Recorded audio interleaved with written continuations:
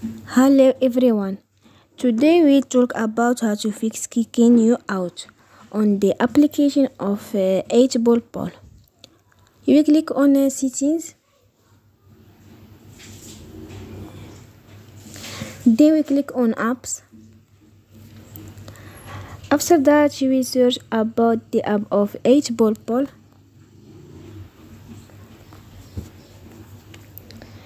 Then we go to force stop and we click OK. After that we enter to storage.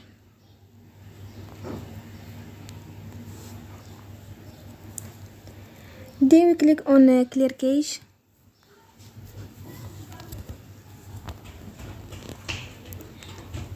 Don't forget to support us by like and uh, subscribe.